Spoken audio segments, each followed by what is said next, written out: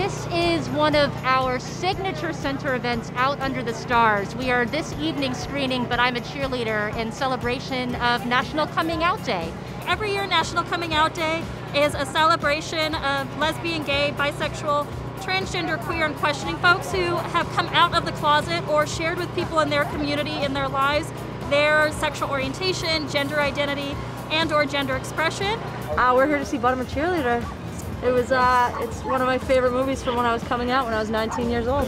We get an opportunity not only to view, but I'm not a cheerleader, and we get to be with community in a socially distant, safe way. This is our first in-person event since COVID-19.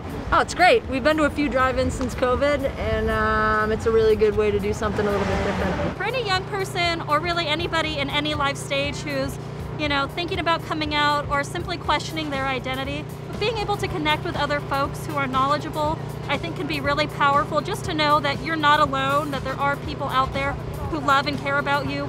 I would add that you are coming into an extraordinary resilient community. One thing personally I've always taken a considerable amount of comfort in is the fact that I am a part of a legacy and a history of individuals who have come out and really blazed a trail that allows me to live that much easier. So I, I think you are not alone and you are amongst those who have done everything within their power to make sure that you can be a safe human being in this world.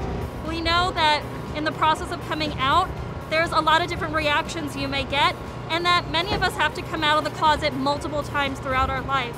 For example, if we're talking about youth who are in foster care, they might come out every time they get a new social worker. So National Coming Out Day is really just a celebration of folks' ability to be visible and to be appreciated for who they are. We certainly do encourage everyone to support the center directly, to please visit us online at lalgbtcenter.org to get connected directly to services and programs. If you are thinking about coming out, have recently come out, or would like to speak with individuals who can walk you through that, that process, please do check us out online.